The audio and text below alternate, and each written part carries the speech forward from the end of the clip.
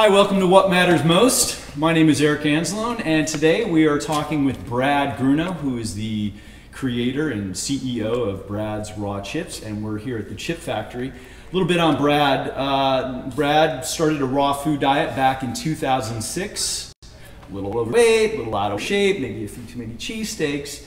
Uh, but despite a raw food diet, uh, you know, the one thing uh, he really missed was a, a good old crunchy snack.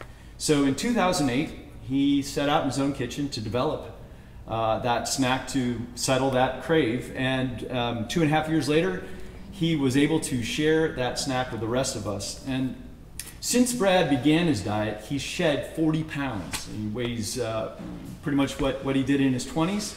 He's got much more energy and is, uh, is changed his life uh, forever. And his hope is that his chips, his snacks, uh, his products can do the same for us. And his mission is to inform people, young and old, of the benefits of a raw food diet. Um, like I said, we're here at his chip factory, and it's not just a factory for making chips. It's it's a hub for cleansing, for for uh, juicing, for music, art, yoga, uh, nurturing and raw foods, learning. Um, they hold everything here from uh, lectures. Uh, we're here today. Um, David Wolfe, uh, Sacred Chocolates, is uh, speaking, and basically, it's a community center too for for the wonderful uh, community of Bucks County, Pennsylvania. So, uh, Yeah. Brad, welcome. Thank you. Thank you. Nice to be here. Great introduction. That was great. Thank you. Thank you. Um, first, uh, why don't you give us a little background? Now, you, you, you didn't always live this healthy lifestyle and eating No. raw foods and whatnot. So, how, how did this happen? Or what were you doing before this? Well, I guess, you know, like you said, having the uh, cheesesteaks, it's funny you say that, being here right outside of Philadelphia Right. where the cheesesteak started. But um, no, I did live that kind of life. And I got into, you know, I was in, uh, as, I, as I grew up, I got into the uh, telecommunication construction business. And I was in that business my whole life. And I guess um, from uh, that point is when the whole telecom industry kind of fell apart. Yeah. And then I kind of stumbled into the raw to the raw food world, and um, Yeah, but how, do, how does one stumble into raw foods? I mean, Well- do you go on a walk one day and go, I'm going to eat that? well, nobody does hear about it, you know. Yeah. And I, I did. I actually had. I, I, I live here in Bucks County, and I have a, a very large family here. 27 cousins, a lot of aunts and uncles, and one of them went over to Arnold's Way, which is a, like a local raw food restaurant here, and uh, they have Arnold offers these classes, and uh, so she had um, actually introduced it to me because she just wanted to. You know, uh, share with the family these recipes that she made. And that's how I first learned about it was just having dinner at my aunt's house, all raw food, five course meal. And, uh, and, and then, I, and then right after that, a few days later, she had bought this disc called Eating. And I listened to that disc. And that's what really the light bulb went off in me. And I listened to that. It was just talking about obesity and about diabetes and diseases and just, just all about the processed food that we're eating and just something clicked and the next day i went 100% raw and um, And so, so then was your next step? I guess you started volunteering in raw food restaurants, uh, working in an organic farm. Yeah. W- was this a choice you made because you were getting into? Did it Did it come out of the fact that you made the choice to eat raw foods, or was that just a coincidence? That well no it came out of making the choice to just eat better Yeah. you know and then i got you know as a the raw food restaurant i would go back there a lot just to kind of meet other people that were in the raw food like you know what happened to you how did you go about it you know how did you feel i just wanted to know you know what i mean just ask other people that were on the raw food diet But- just to talk with them But so you weren't like already formulating because you come from that business sense. Sure, You it was all were- new, But all new were you head. already formulating a plan to start your own company, or were you just changing Never. your lifestyle? Oh no, no. I mean, it's you know when I went raw, you know, uh, for the first two years, I never thought about the business. Yeah. You know, because I came from the construction side. I was always in fiber optics and construction my whole life. You know, working all over the United States. So I was, at the time, as I'm eating raw, but I wanted to feel better, and that's when I lost my weight and I, I felt better. I had more energy than I ever ever had. And but I was out trying to search what, what my next career was going to be. Mm-hmm. So I was going to like these go green conventions, and I wanted to get into power or wind and something something new out there. And that's really when, you know, uh, this is several years after I that I learned about raw and actually how where the light bulb went off of even selling these things is by going to a Go Green convention, and there was a guy there that had a booth. It was kind of weird to me. He was selling food, and it said "Living Salsa." I'm like, I, you know, I can I, I can kind of relate with that. And he was like serving these people at this convention this living salsa, but he was serving it with like a tortilla chip. Now for two years, I'm making my own raw chips, you know, and I'm just like, did you ever think about like serving this salsa with a raw chip? And um, he um, he says, yeah, well, he goes, I just never found one that I liked. And I said, well, I happen to make them. And he goes, wow, I'm going to be doing a show out by you in Bucks County. He goes, why don't you bring some by? So I did. I went out and he goes, oh my God, I love these things. We let, a, we let a few other people try them, and everybody loved them. And he goes, I'll tell you what, he goes, there's another Go Green convention in um, New York City. And he said, uh, why don't you meet me up there next month, make a bunch of chips, and I'll serve your chips for the whole time. I'm like, oh, sure, I'll do that. And uh, so I went up there and I made a bunch of chips. You know, it's just out of my one, like out of my one dehydrator at my place. And uh, so we went in, I helped him set his booth up. People start coming in and he'd serve the salsa. And then a couple people would say, wow, what's this chip? And he would say, well, you better talk to this guy back here, you know? So I'd go up, start talking to him. About an hour or two later, I had a crowd of people around me asking me about the chips, and no one was really paying attention to him about the salsa. Uh-huh. So he finally came to me because Brad, because I, I, hate to do this, but I got to get those chips off the table. And I'm like, you know what? The light bulb already went off in my head. You know, being an entrepreneur, Yeah. I'm thinking the chip business is a multi-billion dollar industry, you know, and it's one of the most unhealthy aisles in a grocery store. Absolutely. You know? And so I just went ahead and, and, you know, at that point, I'm like, you can throw those chips away right now. I'm heading home. Yeah. And that's when the light bulb went off. So I still wanted to prove it to myself, you know, and, and, and so I wanted to just talk to individuals. So how I just went about it was going to farmers market. So I went to my local Ottsville farmers market and um, just, uh, you know, just where I can talk to everybody and explain to them what that was. And everybody I explained it to just thought it was a great idea. There was nothing out there like it. Yeah. And so I just started doing four farmers markets a week. And then so I went ahead and I, I converted a one car garage into my little first chip factory right on an organic farm.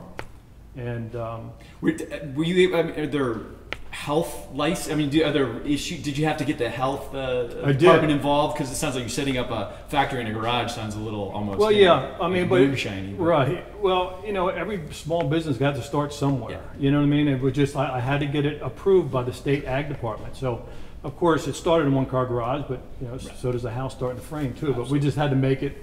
We just had to make it a certified uh, kitchen that was uh, state state certified.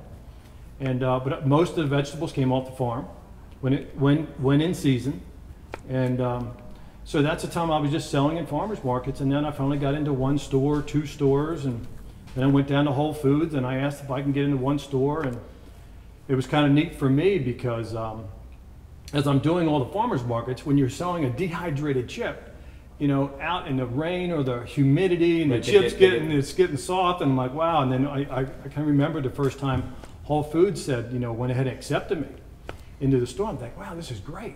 You know, I can go into Whole Foods. It's all temperature controlled. It's never going to rain on me. That's fantastic. And so I would sample in there. And then, you know, really after after that point, and just in that one store, we were doing fourteen thousand dollars a month per store. It didn't take me long to figure out how many stores there are out there. So Now let's get let's get into like the sort of metaphysical, the spiritual side of raw food.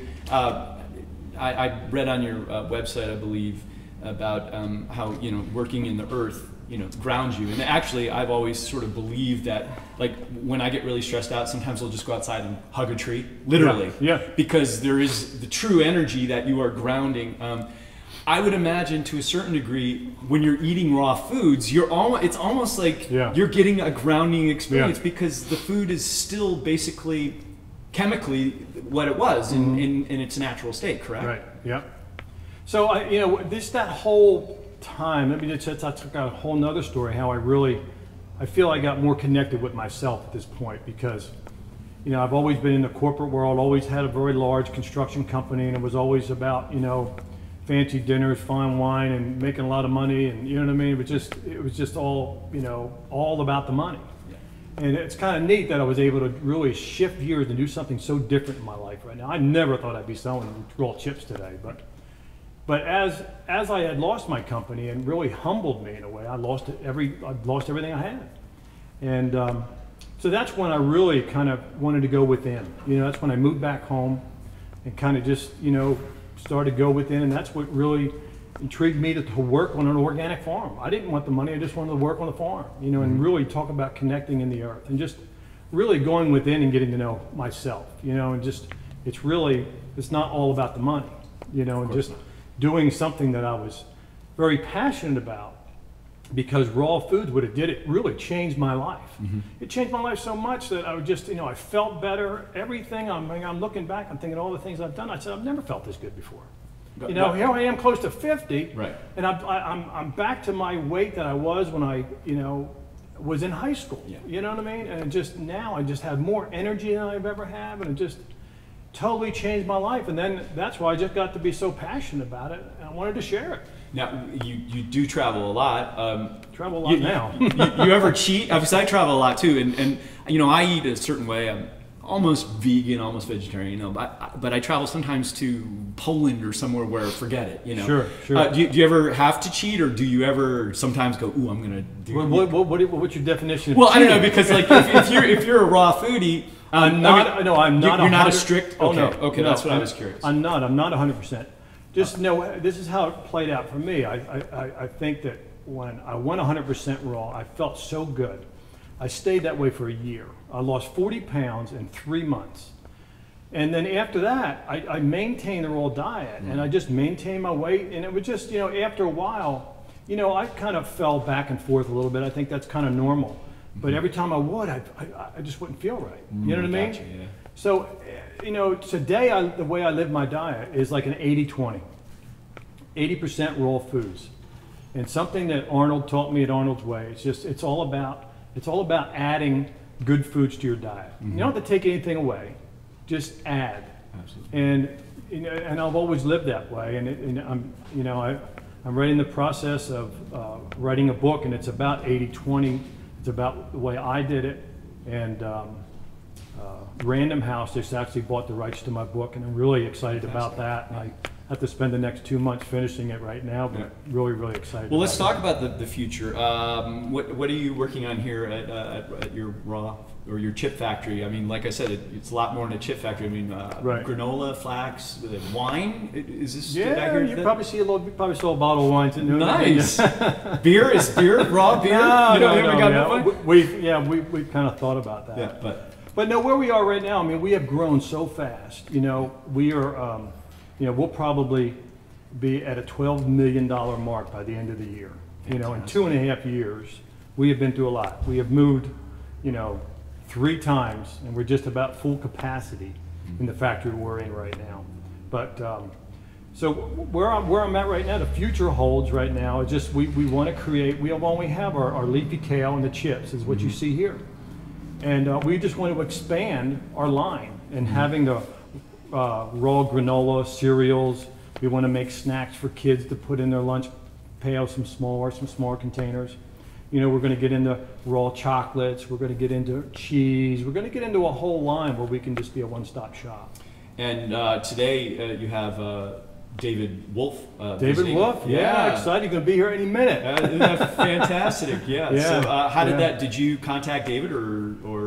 Uh, yes, I did. Yeah, I did. I was just, you know, at, you know, we just moved into this facility um, uh, at the beginning of the year, and we just finished this space right now, uh, which is very beautiful. And I have to give all the credit to this to my sister and her husband Richard Finch, and they just, you know, really it was the art side of the family, and they came in and really. She did the mural on the wall and the plastered walls.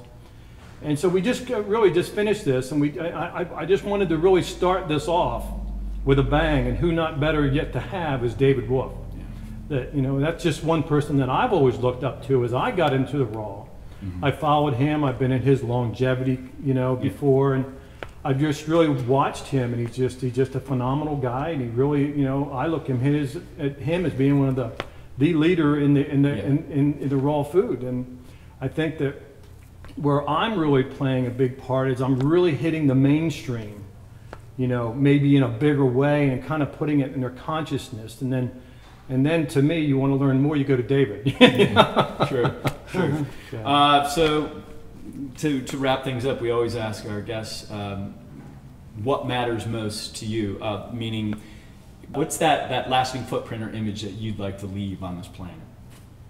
You know, I think one of the biggest goals that I've, I've, I've, by always being in a business, I've always been an entrepreneur, always had my own business, and I think why we have built this educational center, I just what I, I really when I want to feel like I can give back now is giving back, and it's about the education.